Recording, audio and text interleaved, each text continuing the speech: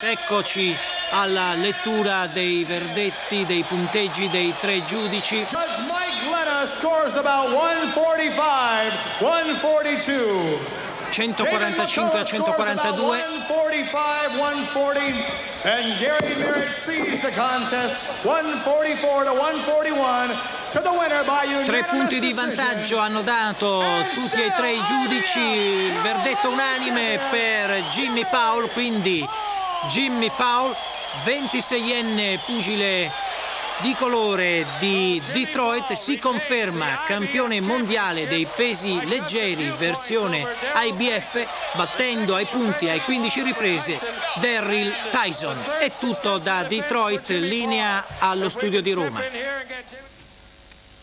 Grande box da Detroit, sabato sport è andato oltre al tempo eh, che ci era consentito, ci affrettiamo pertanto a concludere ricordando che a Zeltweg Teo Fabi ha conquistato la pole position nelle prove per il Gran Premio d'Austria in programma domani e che Rai 2 trasmetterà in diretta dalle 14.15.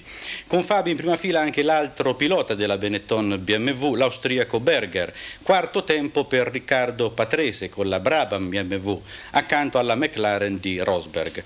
A Saint Vincent Simone Colombo si è guadagnato un posto per la finale di domani nel torneo internazionale di tennis e infine lo abbiamo appena visto da Detroit, Jimmy Powell si è confermato nel titolo mondiale dei pesi leggeri versione IBF. Prima di concludere due notizie. A Madrid nel torneo di pallanuoto dei mondiali l'Italia, ricordiamo, imbattuta dopo tre partite ha superato Israele per 7 a 5 e infine a Las Leñas in Argentina la seconda discesa libera maschile valida per la Coppa del Mondo di sci è stata vinta nel pomeriggio da Pirmin Zurbriggen che ha preceduto l'austriaco Stock, primo degli italiani al nono posto Cigolla.